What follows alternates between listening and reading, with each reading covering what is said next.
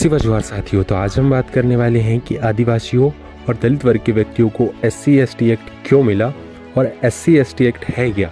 जानेंगे इस वीडियो में। उससे पहले अगर आप एक सच्चे आदिवासी हो तो इस वीडियो को लाइक कमेंट और सब्सक्राइब ज़रूर करें। तो चलिए शुरू करते हैं। साथियों S C S T act को हिंदी में अनुसूचित जाति और अनुसूचित जनजाति अत्याचार निवारण कानून कहा जाता है और इस कानून में कुल पाँच अध्याय और तेरह धाराएँ हैं।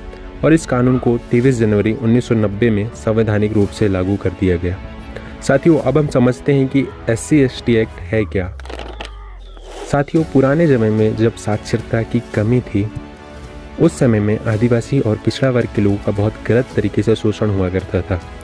और साक्षरता की कमी होने से ये समुदाय के लोग इस शोषण को सहन भी करते थे, जिसे देखते हुए कानूनी प्रतिलिपि के स्वरूप सरकार ने पिछड़ा वर्ग के लोगों के लिए एस सी एक्ट पारित किया। इस एक्ट में एस सी से संबंधित व्यक्ति, कोई दूसरा व्यक्ति उसकी निजी ज़िंदगी या उसके रहन सहन को लेकर उसे गलत बोले तो उस व्यक्ति को तुरंत एस सी एक्ट के स्वरूप तुरंत जेल होगी। और साथियों, इस एक्ट के तहत दोषी व्यक्ति को पहले गिरफ्तारी, बाद में कोर्ट की सुनवाई की जाती है। और साथियों एस सी एक्ट की तरह एक और एक्ट भी है, जो सिर्फ़ महिलाओं की मानहानि से मिलता जुलता है। इस एक्ट में भी पहले जेल फिर सुनवाई होती है। तो साथियों, यही है एस सी एक्ट तो आज की वीडियो में बस इतना ही। सेवा जोहार।